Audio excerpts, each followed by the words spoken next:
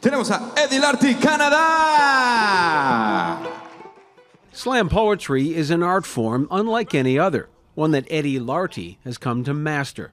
When you're sandwiched between nightmares and nightlife, every toast becomes a prayer. Winning an international poetry slam competition in Brazil against 13 other poets. Stories of love and, and of triumph and of glory um, are all universal, so thank you so much for sharing that where I get to report on the things that are happening in front of me. I get to dictate and I get a, a spotlight that's that's placed on me, but I get to, to showcase it on the things that's happening around me. Lartey built on the momentum he gained from winning the Canadian Poetry Slam in the spring on the strength of poems like this one called Gentrification. There's a Catholic church being remade in the image of a condo a hungry collection plate, an overdue light bill, residents, residents drown in both debt and baptism. The church was built on top of a graveyard, and even here, the ghost can no longer afford to rest in peace. At the Brazil Championship, his wordsmithing even cut across a language divide.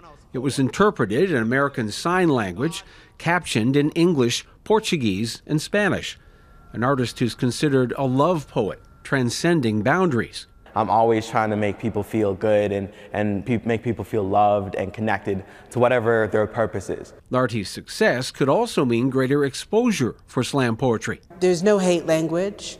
Um, you have three minutes and 10 seconds, no props, no musical instruments, except for the sounds your body can make. Um, all original work. Original work that Eddie Lartey hopes to see more of in Canada.